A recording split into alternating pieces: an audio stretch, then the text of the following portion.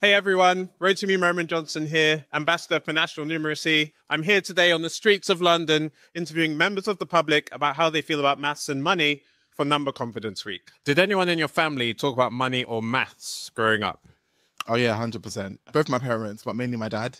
Um, he was an accountant as well, so if, he was just like maths is the key to everything, and in theory he was right. Do you think attitudes towards numbers are passed down through generations? Yes, but I think it has pros and cons. I think when you think of it in a school mindset, you might not be the most confident. Um, it might get a bit like kind of confusing. It feels almost like you're under pressure.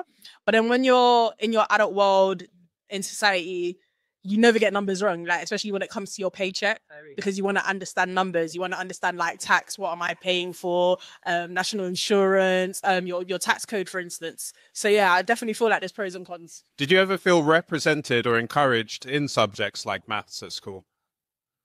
I wouldn't say so. I think more of the encouragement came from my family because my sister, they're all accomplished in their field. You get what I mean? So maths is like a core fundamental in our family to do.